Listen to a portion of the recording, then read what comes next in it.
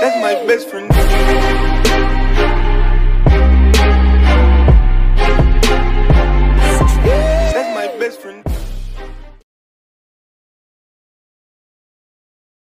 Oke, next selanjutnya kita bakal beralih ke damage attribute. Damage bonus ya kalian tentunya udah paham lah ya. Kita nggak usah terangin lagi. Damage reduction ini juga kalian udah paham. Increase short range damage ini ya mungkin sebagian masih ada yang bingung. Increase short range damage ini cuma berlaku kepada melee weapon ya. Untuk shotgun meskipun kalian nembaknya itu jaraknya deket ditempelin ke kepala musuhnya atau zombinya itu tetap masuknya long range damage ya. Jadi increase short range damage ini cuma masuk pada melee weapon. Oke selanjutnya di sini short range damage reduction ya. Tentunya kebalikan dari increase short range itu ya. Ini adalah penangkalnya ya. Penangkalnya ya semakin tinggi short range damage reduction semakin lemah damage short range oke attack speed reduction ini buat melee jadi pukulannya semakin cepat ya Nah, Punstur. Punstur ini adalah hasil dari melee weapon ya. Ini ada di melee weapon. Bisa kita dapatkan di melee weapon. Fungsinya adalah tambahan tambahan damage untuk seal, untuk seal ya, untuk darah seal. Oke, sebagai contoh di sini ya, ya simpelnya ya. Misalkan damage kalian 100 normalnya.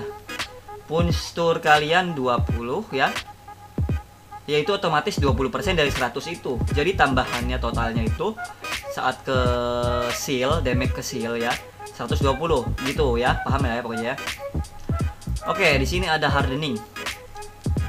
Apa itu hardening?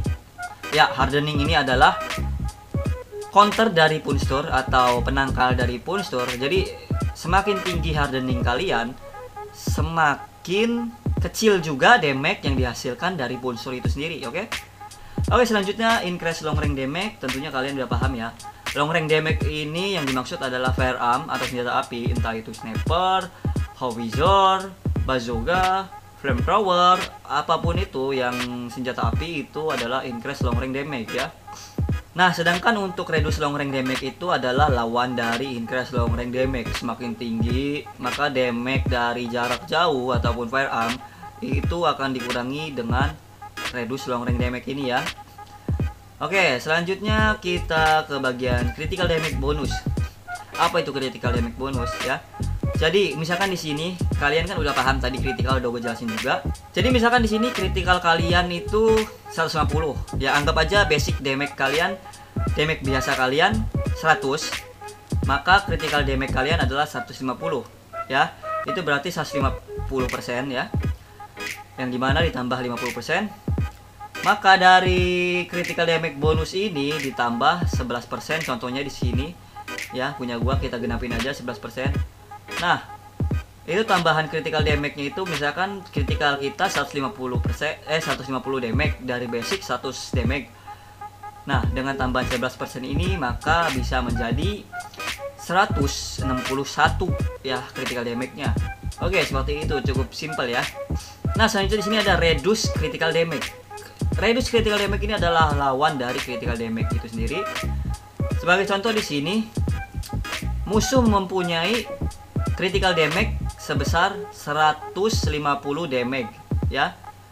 Dikurangi 16%. Nah, kalian hitung aja ya.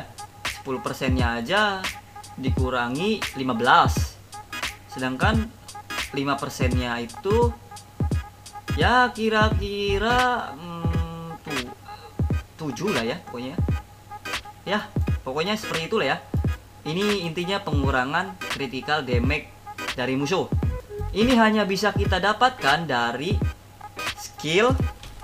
Sebentar biar gua tunjukin kepada kalian ya. Dari skill basic crafting ya. Skill basic crafting di sini. Ada reduce critical damage. Ini cuma bisa didapetin dari sini. Nggak ada dari armor dari helmet dari shield ya cuma ada di sini reduce critical damage itu ya. Oke selanjutnya di sini ada explosion damage reduction. Apa sih explosion damage reduction itu? Ya gua rasa kalian udah tahu ya tapi bakal gua jelasin juga di sini. Explosion itu adalah ledakan. Jadi apa pun yang berhubungan dengan ledakan itu adalah explosion damage reduction ya. Bakal dikurangin. Contoh seperti Wizard, KL ataupun seperti AN 94 yang ada powernya itu itu pokoknya yang pokok ledakan pokoknya lah ya. Oke next di sini ada headshot damage increase. Headshot damage increase gua rasa kalian udah paham ya. Nah pada headshot itu damage kita akan bertambah ya meskipun nggak crit. Karena pada dasarnya untuk bagian kepala itu damage-nya lebih sakit ya. Nah dengan ini bakal ditambahin ya. Misalkan headshot damage di kepala kalian itu 300 dan kita dapat di sini headshot damage increase contohnya 10% lah ya. Maka akan ditambah 30 jadi 330 headshot damage reduction di sini adalah counter dari headshot damage increase ya atau ya pengurang ya pengurang rasa sakit di kepalanya ya. Oke, selanjutnya ada reduce crit touches. Reduce crit touches ini adalah critical damage yang kita terima di bagian dada ya di bagian dada. Ini bakal dikurangi dengan ini. Ini bisa kalian dapatkan dari armor ya. Seperti itu. Nah untuk headshot damage increase kalian bisa dapatkan dari weapon ya. Sedangkan untuk explosion damage dari armor dan juga helmet kalau nggak salah ya. Dari shield juga ada. Oke selanjutnya ada di sini ada drone damage bonus di sini gua nggak tahu ini dapat dari mana drone damage bonus ini. Gua rasa dari drone compilation ya kayaknya. Ya pokoknya di sini meningkatkan damage dari drone kalian ya. Di sini ada drone damage reduction. Drone damage reduction adalah pengurangan damage yang diterima dari drone kalian ya. Ini juga didapetin kayaknya dari compilation ya selain dari drone-nya itu sendiri ya atau dari part-part drone-nya itu ya karena di sini gue lagi bahas karakter atribut ya nggak ada hubungannya di sini sama drone ya ini kayaknya didapetin dari compilation Ya, itu semua info yang bisa gue berikan kepada kalian. Kalau ada yang kurang, kalian bisa tambahkan di kolom komentar. Kalau ada info yang salah, kalian bisa koreksi di kolom komentar juga ya.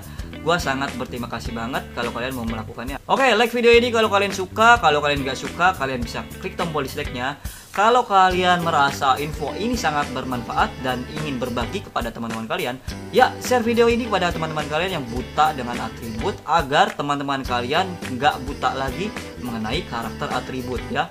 Oke, gue Bandito pamit undur diri sampai jumpa di video berikutnya. Bye bye.